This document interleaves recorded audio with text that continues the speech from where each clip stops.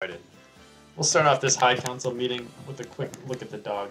What I get But being an We got. bum. Oh yeah, yeah, yeah. Anyway, back to topics. On topic. High council. We got M. Dot Frisk. We got Senor Splash, and we got Matt Paz. Still beat P. P. Farrell to the P. adult Farrell's out tonight. He's bowling. Uh, where do we want to start? Who wants to take us off? We're gonna look at all the teams for the EPL.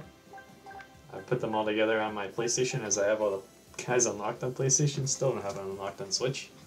Uh, all right, Senor Splash, give us the first pick. What what uh, team you want to look at first?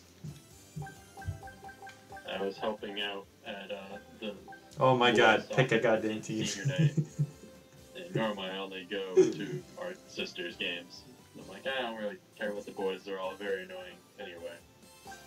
And it got to the point where they were talking so much shit from both the teams on the field and then the fans that after the game we had to like keep the home fans and the team like, locked into the stadium because the other team was trying to get back in to fight them. I hope you're keeping this. This is Josh.